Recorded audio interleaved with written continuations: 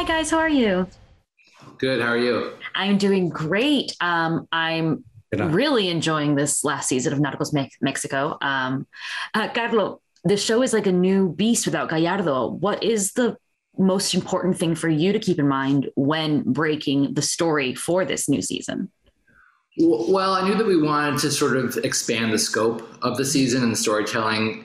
In the 90s, um, the drug business expands and it sort of becomes more um, of a facet in public life. And so, because of that, and to try to stay authentic to that history, I wanted to tell a story that had more characters and more voices, sort of to expand the canvas um, as the drug trade itself was also expanding its influence on society as a whole. So that was sort of the idea, and um, it was a challenge, but it was really exciting. Yeah.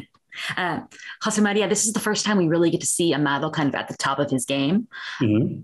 How different is your approach to him as a leader of, of a cartel as opposed to the ones we've seen in the past, like Escobar um, Gallardo?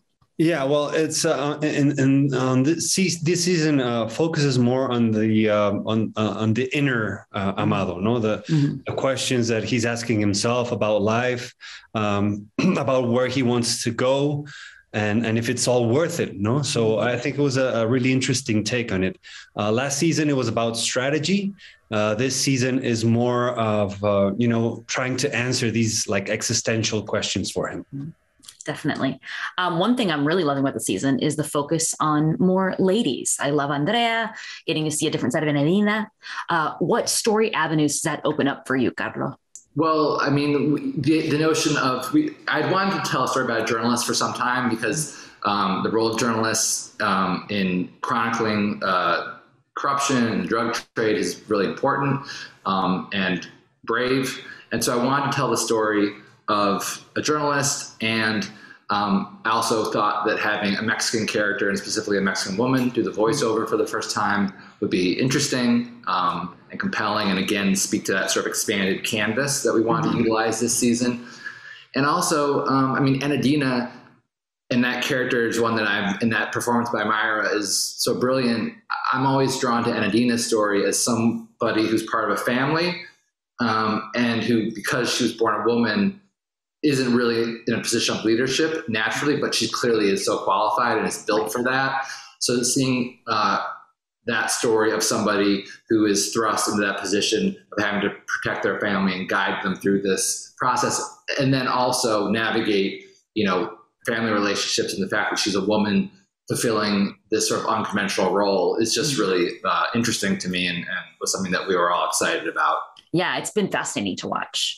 Um, Jose Maria, you mentioned a little bit about the internal struggle that Amado goes through this season. Can you talk about getting to see his more vulnerable side and maybe some of his family scenes?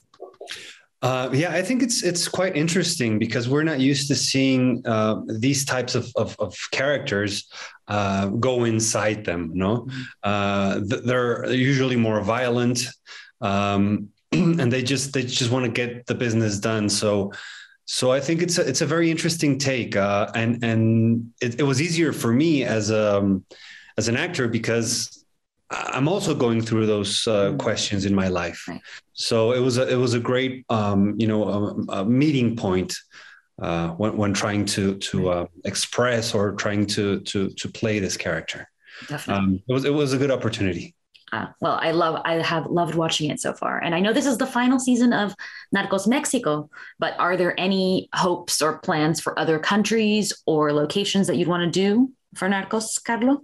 Um, well, there's no, there are no plans in, mm-hmm. in, the works currently. I mean, I think that's always a possibility, but as of now, there isn't anything. We just really want to, um, endings are tricky, um, mm-hmm. obviously, and we wanted to try to, um, you know, conclude this story in a way that felt emotionally real, didn't feel overly tidy or neat, mm-hmm. because obviously, you know, the tragedy of the drug right. trade continues. Um, so the challenge of trying to tell a story that felt emotionally valid and compelling and satisfying while not sort of, you know, um, you know, feeling overly tidy felt like that was challenge enough. And mm-hmm. in terms of what comes next, um, there's no immediate plans, but you know, hopefully, you know, uh, for better for worse, these, the phenomenon that has created Narcos Mexico continues um, right. in the real world. So, mm-hmm. so I suppose it's always a possibility.